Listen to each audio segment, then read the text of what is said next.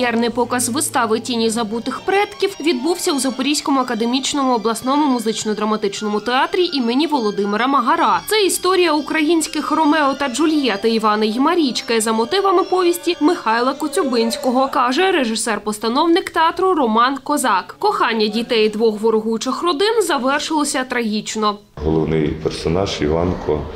Він багато чого не отримав в своєму житті, бо не зробив вчасно чогось, послухав когось, е, прийняв рішення надто пізно і постійно десь на йоту, на, на, на пів крока не встиг до свого щастя. А сьогодні такий час, що треба жити сьогодні, зараз і думати про те, не, не, не що скажуть інші, чи як би там, а раптом колись, бо колись може не настати. От в цьому є якась сучасність.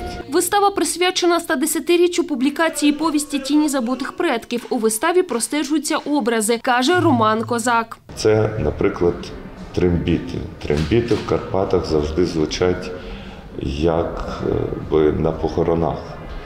Трембіти нам нагадують сирени. Коли відбувається у виставі смерть, звучить трембіта. Коли ми чуємо сирени, ми розуміємо, що хтось зараз десь гине. Працювали над виставою у театрі протягом двох місяців. Головні ролі Івана та Марічки зіграли артисти театру імені Магара Богдан Кумунджиєв і Анна Акішина. А як я кинув твої уплітки в воду? А ти дала мені цукерку. Я тебе покохала одразу.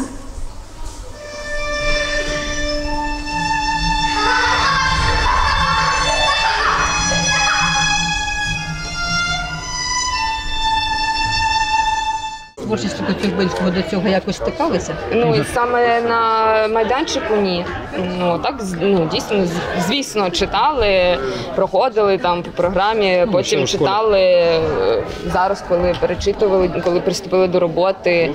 ну, Дуже багато занурювалися там і у критиків, і таке. Ну тому що це потрібно. Показати виставу Тіні забутих предків глядачам у театрі планують після війни. Дар'я Пасічник, Олег Стригунов. Новини на Суспільному. Запоріжжя.